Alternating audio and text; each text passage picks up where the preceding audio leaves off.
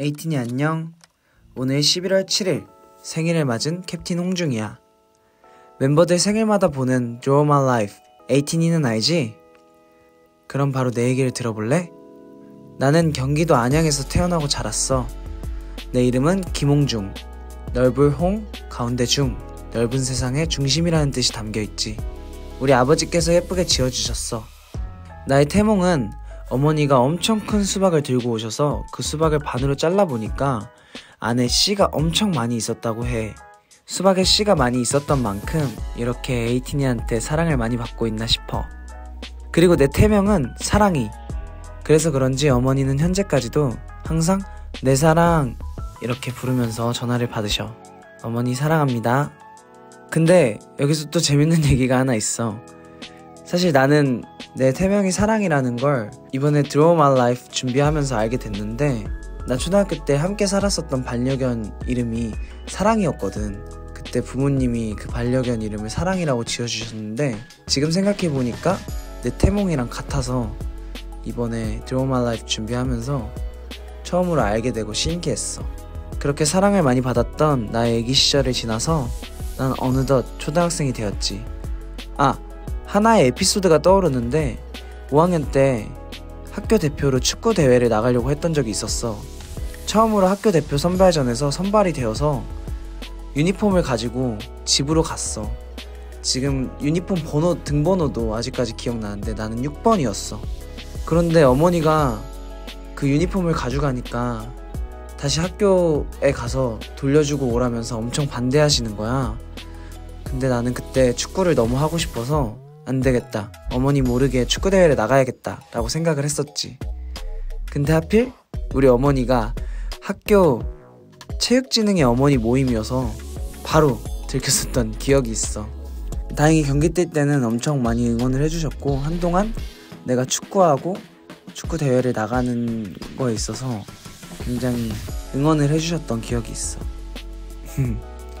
아무튼 그런 추억이 있었고 중학교 3학년 때 마이클 잭슨 님의 음악을 듣다가 그 음악에 나오는 처음 들어보는 악기 소스들이 그때 당시에 너무 신기하고 이건 무슨 소리로 어떻게 만드는 소리인 건지가 너무 궁금해서 지식인에도 찾아보고 여러 가지 매체들을 통해서 막 찾아보다가 처음으로 음악 미디 프로그램을 접하고 나서 그렇게 음악을 시작하게 되었어.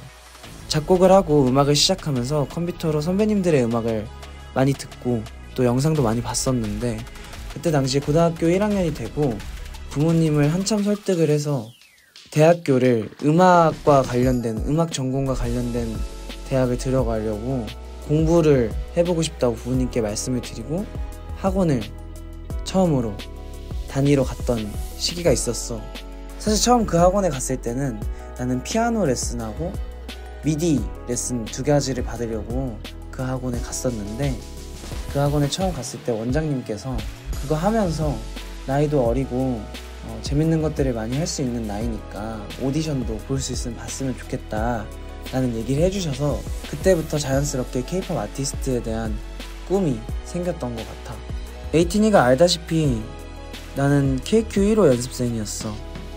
6개월간 커리큘럼 없이 혼자서 연습생 생활을 하면서 어, 힘들 때도 많았지만 스스로의 방향성에 대해서 굉장히 고민했던 시기가 있었어.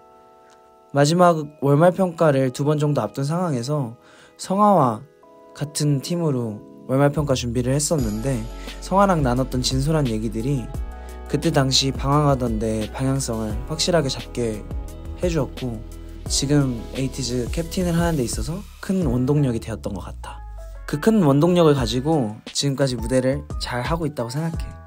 그리고 데뷔를 하고 에이티즈로 활동하면서 에이티즈 멤버들이 그냥 우리 멤버들이어서 성아, 윤호, 여상이, 산이, 민기, 우영이, 종호여서 굉장히 고마워.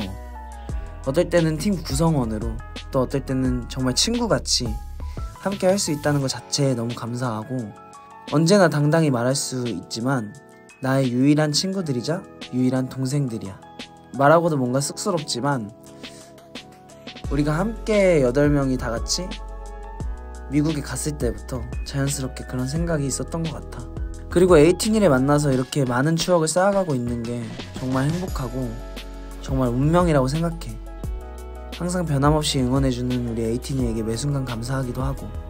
사실 에이티니에게 하고 싶은 말은 너무나도 많지만 이 Draw My Life를 녹음하면서 드는 생각은 어떻게 보면 그냥 지나칠 수 있는 날 중에 하루인데 에이티니가 나의 생일이라는 이유만으로 특별한 날이라고 생각해 주시고 많이 많이 축하해 주시고 하루 자체를 꽉꽉 채워 주시는 것 같아서 너무너무 감사하게 생각해.